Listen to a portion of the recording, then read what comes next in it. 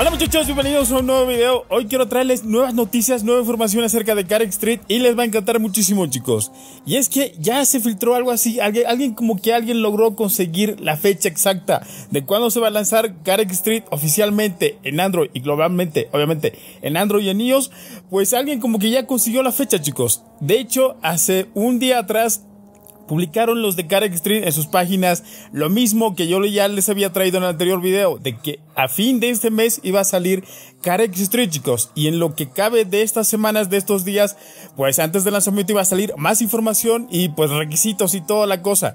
Eh, bueno, de hecho ya va a estar en preregistro en la Play Store y demás cosillas, chicos. Ahora mismo salió la información de que Carrick Street será lanzado el 20 de octubre, chicos. Según, según la filtración, este día es el día en el que va a estar disponible el juego en la Play Store, chicos, para que puedan descargarlo globalmente.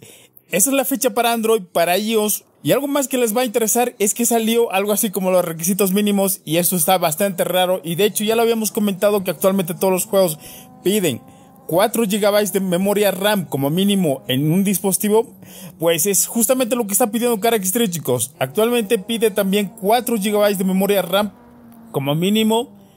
Esto ya se veía venir y también te pide que tengas 128 de almacenamiento, de memoria de almacenamiento.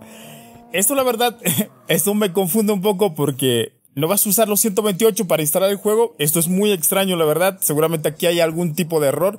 Porque actualmente, ya les dije, el juego pesa 3 GB 70, bueno, 3 GB 700, cerca a 4 GB, pero pues seguramente el día de su lanzamiento y todo llegue a pesar como 6 GB posiblemente y pues quizás cerca a 7, ¿eh?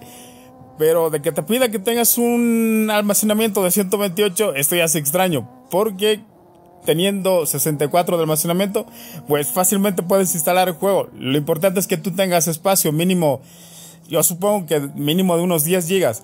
Así que bueno chicos, esto simplemente era para traerles esta nueva información que acaba de salir. Espero que les guste la buena noticia que les acabo de dar.